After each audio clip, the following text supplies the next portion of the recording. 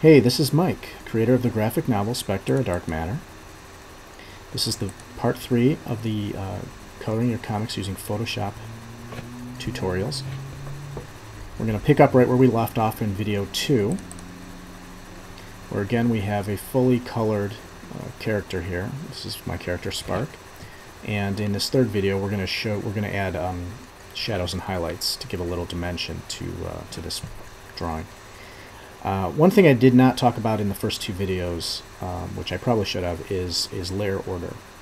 And uh, in the very first video, I isolated the black lines from the from the white background, and white background being the bottom layer, and the top layer being the black lines layer. All of the color layers are in between. And I'm going to create a new layer called Shadows. And that I just put above everything because the shadow is going to cover all the other layers except for the black lines layer.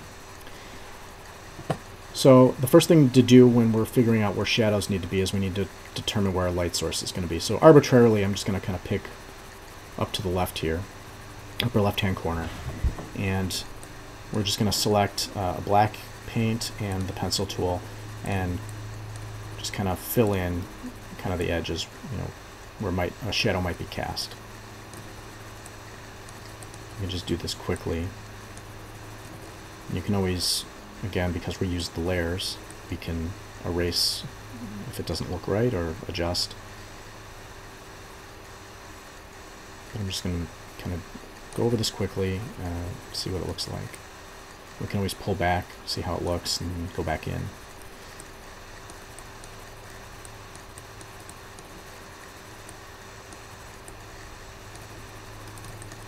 Zoom out. So um, eventually we're going to add the transparency to this so it's not so dark, but I like to do all the black first.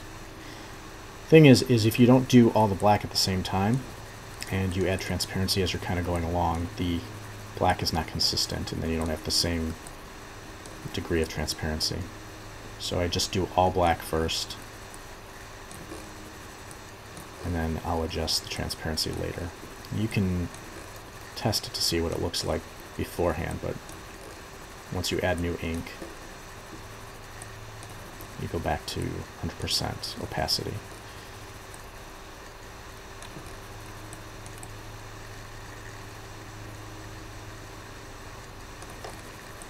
Now I'm running through this pretty quickly. Um, I would usually take my time if I wasn't recording this.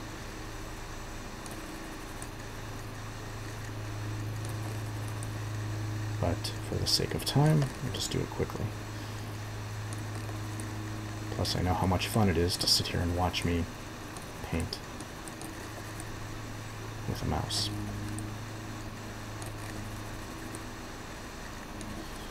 Okay, I'll zoom out and see it. Now again, uh, maybe I want to smooth this out a bit.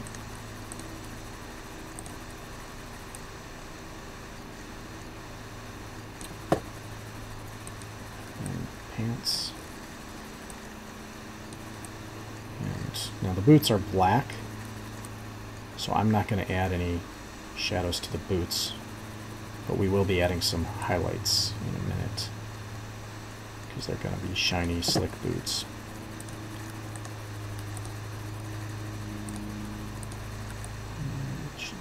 That. And then probably there. Okay, so now we can kind of sit back and look at this whole thing, and I'm going to go up to my opacity line here, and I usually go about 50%. Let's see what that looks like. So now we have shadows. Now I probably would want to add a shadow like right on these fingers here, so I'm going to go back to 100%. Fill in little shadow cast on the fingers. Go back to 50% zoom out, and looks pretty good. Okay, the next thing I'm going to do is I'm going to create a highlights layer. This will be for lighter items, and we're going to use gradients.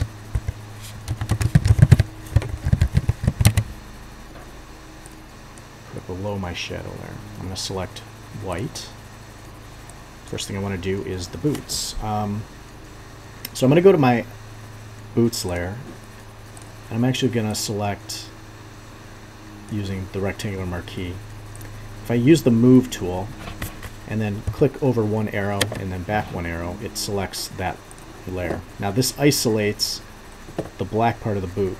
I'm going to go back to my highlights layer, again selecting white, using the gradient tool.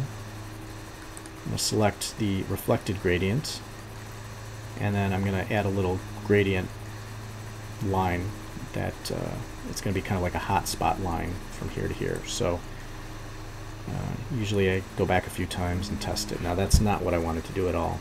The reason it did that is because the reverse button is checked here. So I'm going to delete that and try again. Uncheck re reverse and try that. It gives me a nice hot spot there and you can see how how bright that is. And then I'm going to do another one here. And that one I don't like, so undo that one and try again. Now, in this particular um, gradient type, I'm going to click with my left button, drag, and then it's going to turn out perpendicular to where I'm at.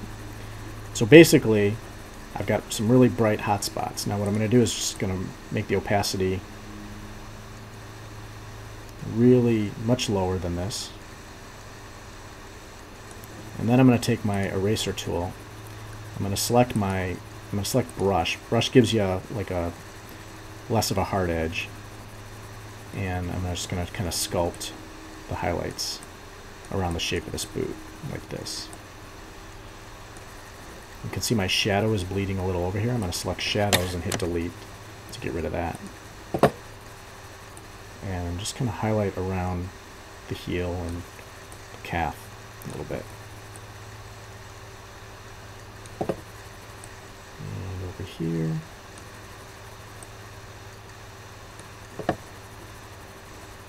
And to step back and see what that looks like. And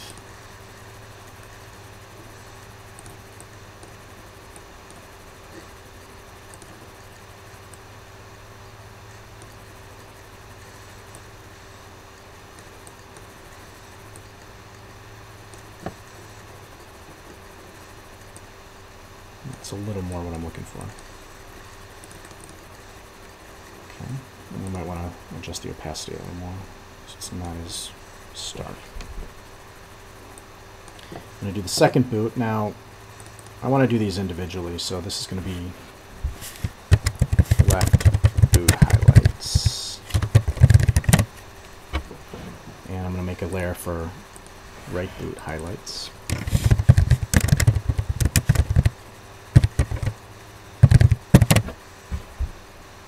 Again, I'm going to select I'm going to select the boot layer, my marquee tool, select move, click the arrow over once and then once back one pixel to highlight the black of the boot. Go to right boot highlights and select the gradient tool again.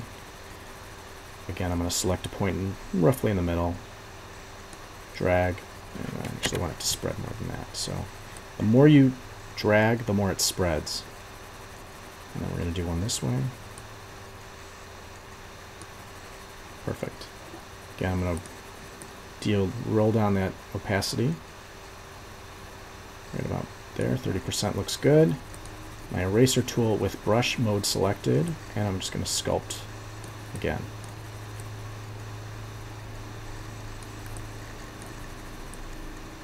Down heel.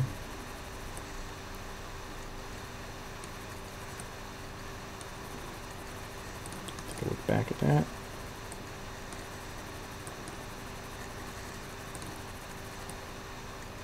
It's not an exact science, you just kind of do what feels right here.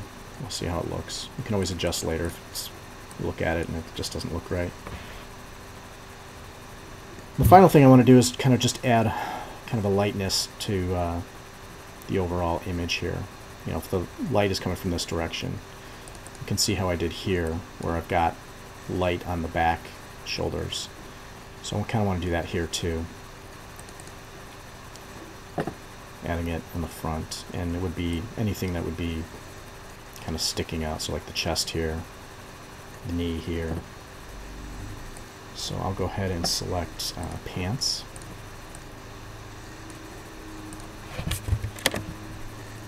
That will highlight that. So I'll do a uh, pants highlights.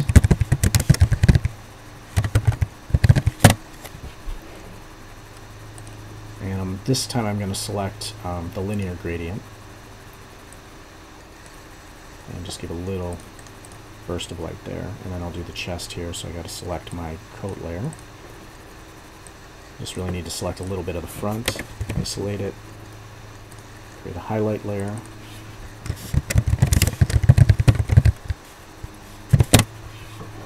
And do the same thing with the linear gradient. Hmm, that's not enough. That's a little better. Okay. And uh, maybe just a little to the, to the face. Now, you can notice that these shadow lines are a little, they're a little sharp, and I, I want to kind of tone them down a bit. So let me go back to the shadows. And I'm going to select my eraser tool with brush again, and you can see that these little fuzzy images here. To get this box to come up, you just left click and it brings up that. That's too much of a radius here, so dialing it down, that's about right. And I can kind of smooth out. Let's smooth it out a bit, like this. That looks better.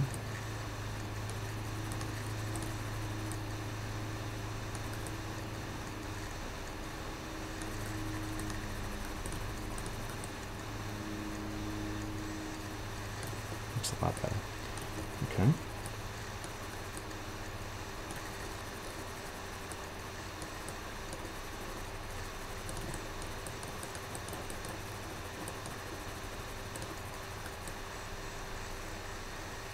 And this video is getting a little long, so I'm going to stop it here. But basically, you get the idea of what you can do. So shadows and highlights. Now quickly, what I would do at the end of this, um, I would save this file. And I'm saving it, I should save it as a Photoshop document, PSD.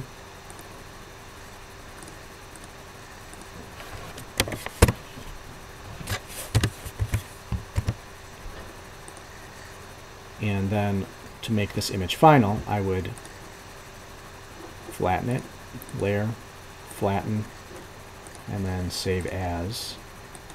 You can save it as a PDF or a JPEG.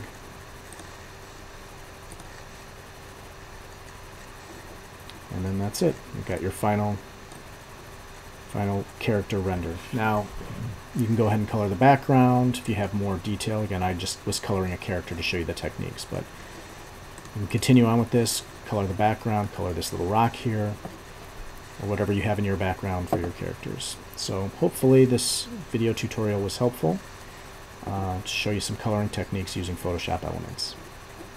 Thank you.